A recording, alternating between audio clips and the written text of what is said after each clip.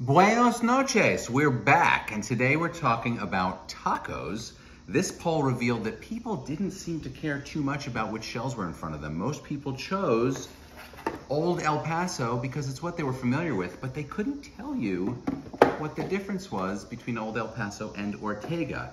I also can't tell you the difference, and that's why we're going to do a taste test I with watch you. videos about food that's and that's probably not real cheese. Hmm. It's probably carrots or something. Do not be dissuaded or persuaded by the fact that the Old El Paso taco stands up by itself. We are not holding that against the Ortega taco, which does not stand up by itself. And this is because the laws of physics.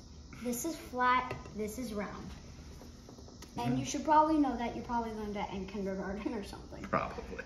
I'm Let's do a test of the taste only. Taste, texture, sound, those kinds of things So I of the taco. Eli, would you like to start with the Old El Paso over on the plate? We're all going to share this for taste testing purposes. That's a big crunch. Fresh. Okay, Molly. A taste test of the old El Paso. She's got a loose tooth. Yep. What'd you think of the taste? Is it familiar to you? Um, I mean, it tastes like a taco. Now, the tacos we're having for dinner are the Orga, Ortega. Ortega.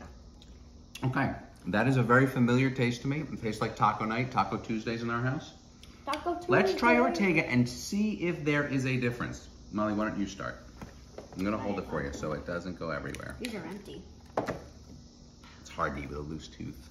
Did you get a piece? Yeah, Did your tooth fall out?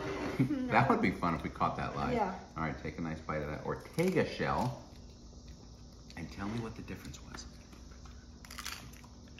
It's softer and it's not as big as crunch. I couldn't tell you a difference at all. I, I, I just noticed this on the box. It says shell stands up. Oh. So those people that said they would reach for what was ever on sale probably makes sense. Or Yeah. what was ever in front of them. And a lot of the stores in our area don't carry the Ortega shells. Now, it looks like my sister Now we're gonna fill our bellies with Mexican food. Thanks so much.